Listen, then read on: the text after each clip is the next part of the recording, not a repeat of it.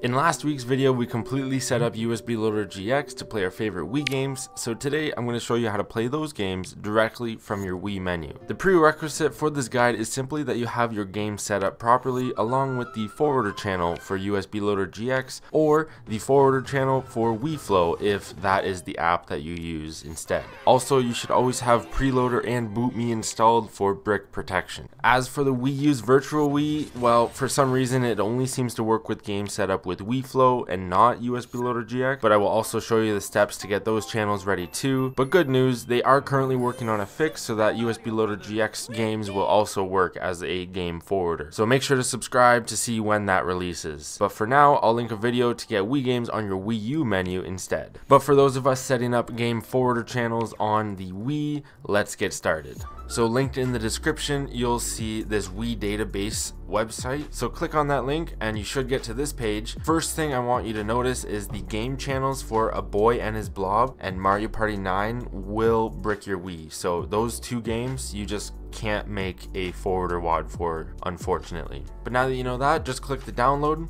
and it should download. In my case, I'm pretty sure it detects a virus, so there's a pop-up. I'm gonna click on it.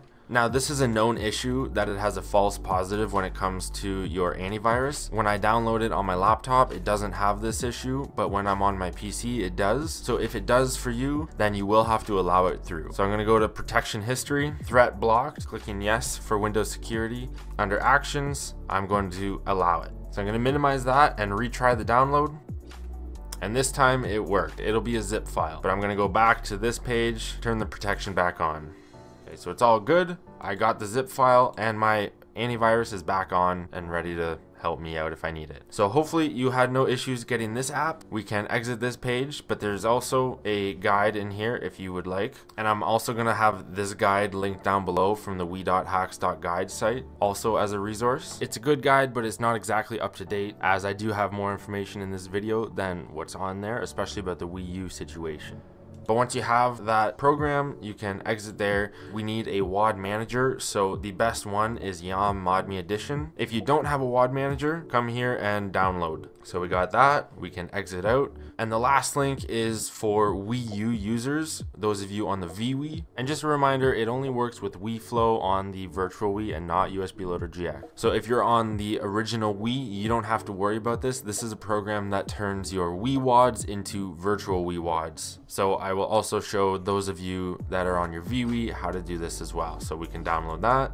So once you have all of those downloads, now you need to take out the USB drive, hard drive, or SD card wherever your games are out of your console and place it into your computer. So now that we have that plugged in, we can go to our downloads, open up the Wii GSC zip file, and you will need an extraction software like WinRAR or 7-Zip. I use 7-Zip, it's free. Potentially unwanted app found. I'm gonna click my Windows security pop-up. I'm gonna click yes to allow, actions, and allow on device. Again, this is a safe program. It's a false positive, but if you are not comfortable, then you don't have to do this. So I'll minimize that, and you should see these files here, the setup exe and GSC installer. So I'm gonna move this over, create a new folder, Wii GSC setup, I'm gonna drag these in there. And once they're transferred over, we can go back to our downloads and delete the zip file. We no longer need it. I'll minimize my downloads, open up the WiiGSC setup files here. So these are the ones on your computer, the ones we extracted. So now double click on the .msi. It opened on a different screen. You should see this setup wizard.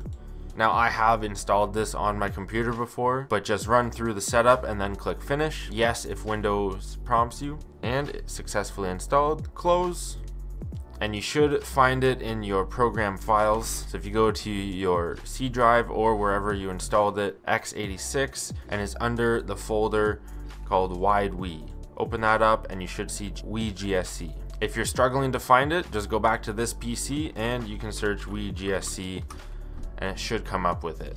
So it takes a while to search, but once it comes up, got that Wii GSC folder right here, you can go inside and you should see all of this stuff. Scroll down where you see WiiGSC.exe, right click it, and run as administrator. If you do not do this, it won't work. So you do have to run it as administrator. Let's do that. Press yes when Windows prompts you. Opened on a different screen. I'll minimize that. You'll see this message. Press OK. Keeps opening on the wrong screen. common key created successfully, press OK, and then this one will come up. Just press OK, and you can just press exit, and the program should pop up.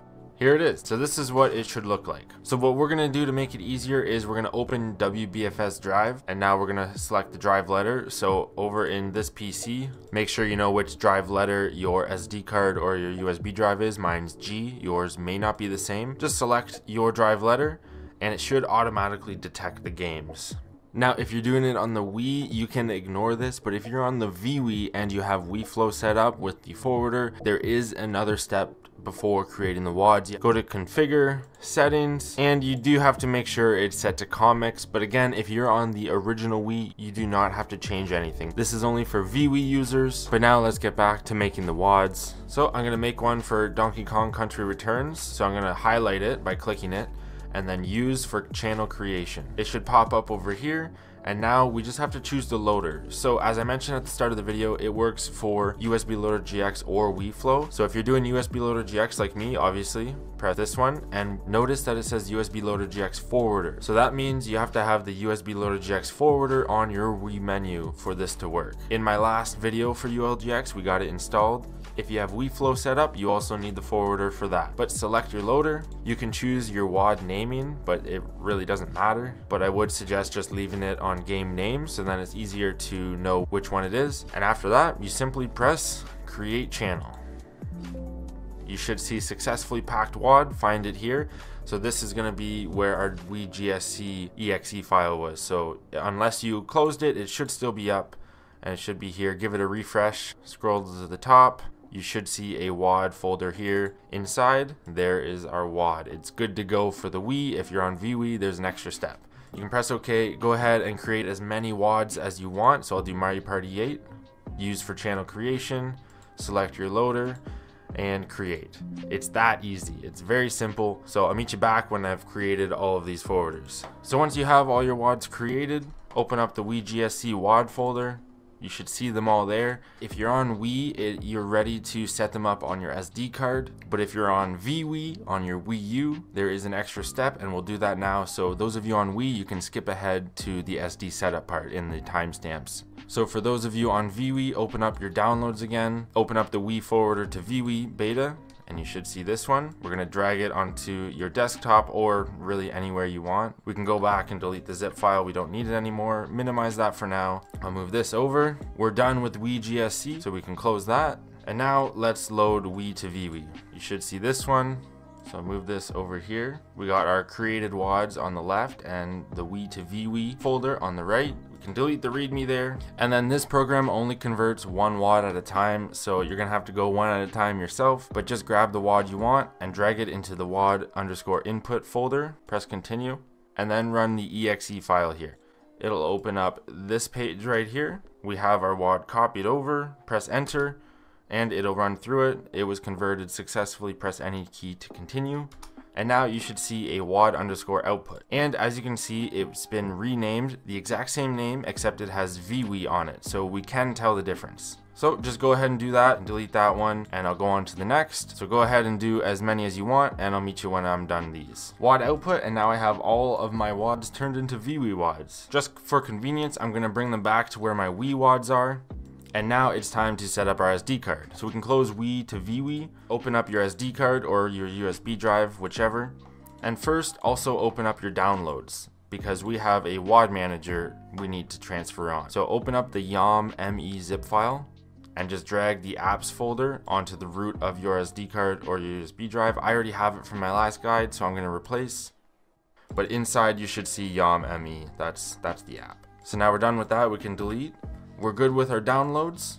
And now it's time to transfer our WADs on. So I'm going to be doing this on the Wii that I actually used in my previous video. So I'm going to go into my Wii WADs, but obviously you'll have whichever WADs that you prepared. If you don't already have a WAD folder on your SD card, just go ahead and create one, WAD, like so. Highlight everything and drag it inside. Now I have my USB Loader GX forwarder one. Sometimes if you get a lot, you can make a folder and I just call it used and put the ones you've used in there. It keeps everything a little bit more organized. Or you can delete it as well, but it's nice to keep it, in my opinion. But now that you have your WADs on your SD card, you're ready to take it over to your console. So let's unplug and I'll meet you over there. Whether you're on VWii or Wii, the next steps will be the same using YAWM. Alright, so over on your Wii or VWii menu, load into the homebrew channel. You should see YAWM ModMii Edition. We're to load that up now. And then now we're going to select our source device. Mine's on SD, but if yours is USB, obviously select that. This is also your last chance to make sure you have Priiloader installed. But select your source device. It will load directly into our WAD folder, as you can see. And use your D-pad, go down and press A on the WAD you want to install. Press A again, and it'll install. These are all pretty small, so they're pretty quick to install. Boom, done. So go ahead and install all the WADs you want. And if you're wondering how to delete them, you can either come back into here and switch it from install to uninstall, or you can go into your Wii data management and erase them that way. Once you have all of your WADs installed, press the home button. It'll take us back to the homebrew channel. Pop a couple bubbles, hit the home menu, and go to the system menu.